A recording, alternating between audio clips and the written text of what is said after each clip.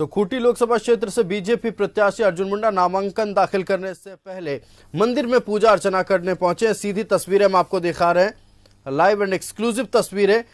News eleven Bharat पर नामांकन दाखिल करने से पहले।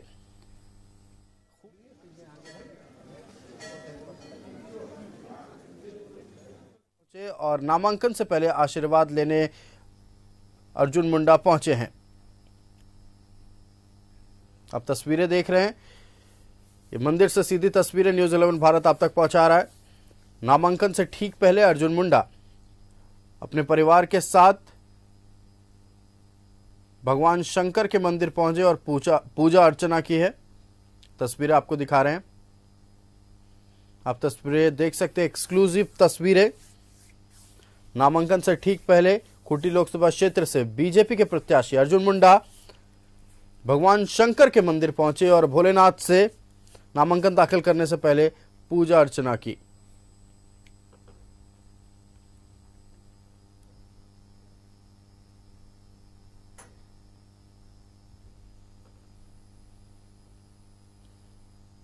एक्सक्लूसिव तस्वीर आपको दिखा रहे आज खूटी लोकसभा सीट के लिए दोनों ओर से, यानी एनडीए और इंडिया दोनों ओर से दोनों प्रत्याशी नामांकन दाखिल करेंगे। अर्जुन मुंडा बीजेपी की ओर से, वहीं कालीचरण मुंडा, इंडी गठबंधन की ओर से आज अपना नामांकन दाखिल करेंगे। अर्जुन मुंडा के नामांकन में बीजेपी प्रदेश अध्यक्ष बाबूलाल मरांडी भी मौजूद रहेंगे और फुल मज़बूत पूरा मज़बूत।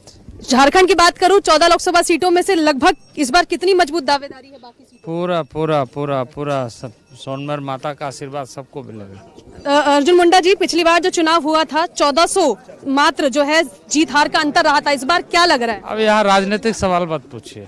चलिए आगे की तरफ़ बढ़ते हैं और देखते हैं कि जब नामांकन होता है और उसके बाद जब जनसभा की भीड़ आती है तो जनता क्या कहती हुई नज़र आती है? आइए।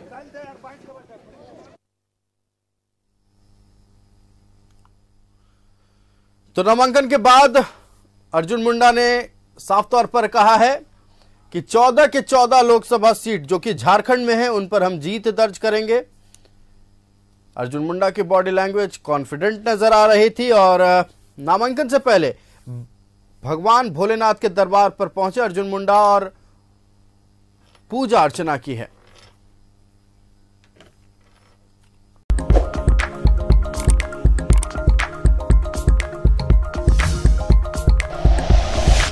Like and share videos, subscribe करें हमारा चैनल और प्रेस करें बेल आइकॉन न्यूज़ 11 भारत. सच है तो दिखेगा।